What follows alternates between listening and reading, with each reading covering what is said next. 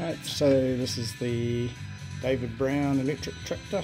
Um, this is how we turn it on. So turn on the key, which is the 12 volt supply, uh, and then pre-charge the two motors. So I'm going to start the main motor first, which is the drive motor. So turn the pre-charge on. You'll see the cycle analyst display starts. Uh, that one's warming or, or pre-charging. I'll flip the one for the PTO motor and that can pre-charge as well. Um, should be good to go now with the um, setting the main contactor for the uh, main motor so you can hear the clicker of the contactor. Um, and now that it's pre-charged we can actually switch it down to position 2 which is the run state. And you hear a little beep and it's good to go. So um, got a foot controller for that motor so I'll press that now and you should hear the motor start. And here it goes spinning now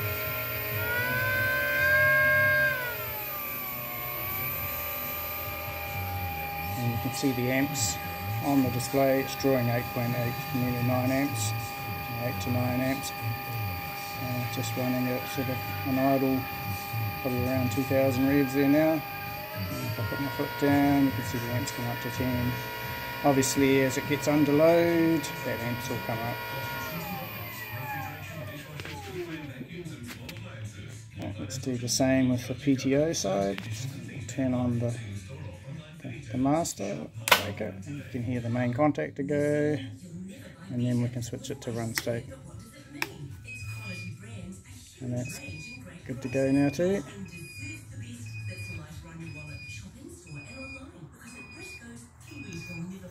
Oops. I've got a beeping sound. Oh, my uh, brakes on. That's right.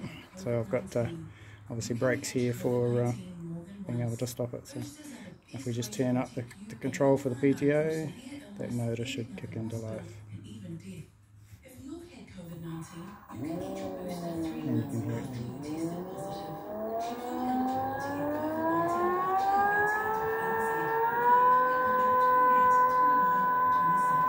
And running a little bit better at 3.7 amps.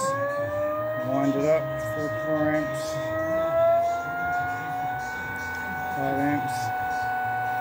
So uh, can see it's uh,